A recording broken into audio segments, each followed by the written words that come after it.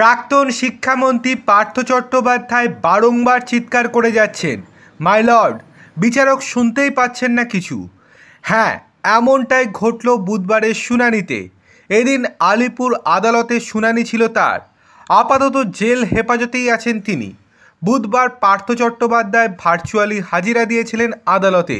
তিনি বললেন অনেক কথা, তবে শুনতেই পেলেন না বিচারক।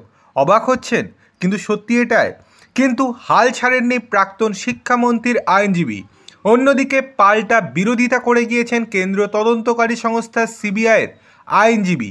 এসএসসি নিয়োগ দুর্নীতি সংক্রান্ত মামলার শুনানির শুরুতেই বিচারকের প্রশ্ন ছিল, কেমন আছেন? তারই উত্তর দেওয়া শুরু করেছিলেন পার্থ। দেখা গিয়েছিল, নড়ছে প্রাক্তন শিক্ষামন্ত্রীর ঠোঁট, তবে শোনা যাচ্ছিল না কিছুই। অস্পষ্ট কিছু শব্দ এলেও তা বোধগম্য হওয়ার নয়।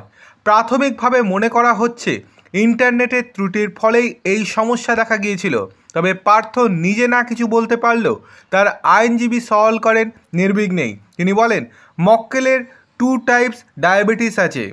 সেই সঙ্গে রয়েছে ক্লাস থ্রি ওবেসিটি এবং হৃদযন্ত্রী, হৃদজনিত সমস্যা। পার্থের ওষুধের তালিকাও দেন আইনজীবী। এরপরেই বিচারকের কাছে আবেদন জানান, জেল কর্তৃপক্ষ যেন তার মক্কেলের স্বাস্থ্যের দিকে বিশেষ নজর দেয়।